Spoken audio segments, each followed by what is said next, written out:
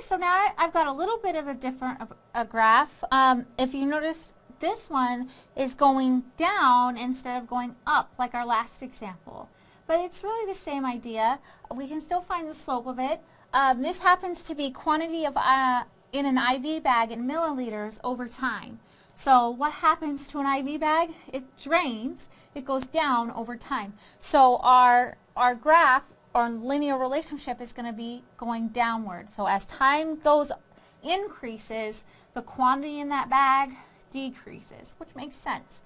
Um, and so when you go down like this, this would be called a decrease would be called decreasing a decreasing function.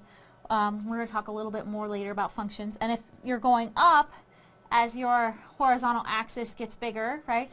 We're walking, if we thought about walking on this in the forward direction, in the positive direction of the horizontal axis, right, our, our graph would be going down. And if on the other one we walked on it in the positive direction of the axis, we would be going up. So we would say that one was increasing.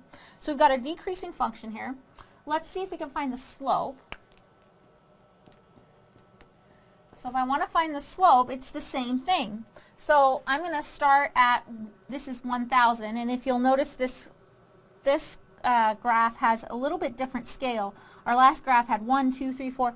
This one go, is going by hundreds, which makes sense, um, 100 milliliters at a time since there are 1,000 milliliters in that IV bag. So if we go down 1,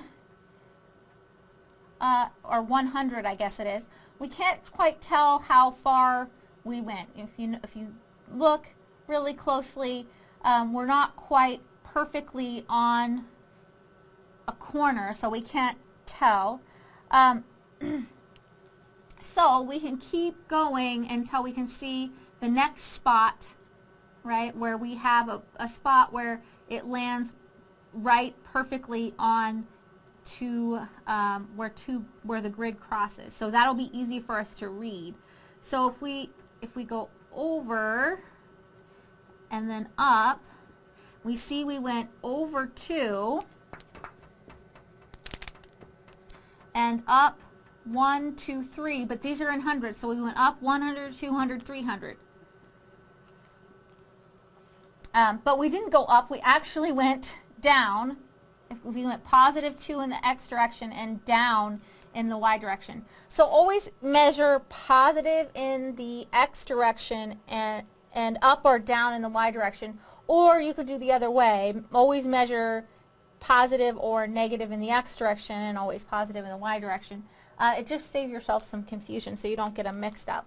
So, which goes on top? The x's or the y's? So the change in the y goes on top. So how much did we go? We went down 300. So down 300, we're going to write as negative 300. And this is milliliters.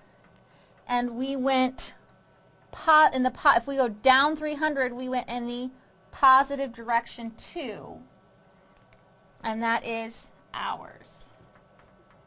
Okay, so for every three, two hours we go forward, we go down 300 milliliters in our IV bag. Um, you could have done it the other way. You could have got, think of this as going backward two, so in the negative direction two, and up in the positive direction 300. But if you look at that, the negative 2 is on the hours, so we go backward in time. That doesn't really make a lot of sense. So having a, mathematically, having a negative in the top of the fraction is the same as having a negative in the bottom of the fraction. You, both answers will be negative. A negative divided by a positive is negative.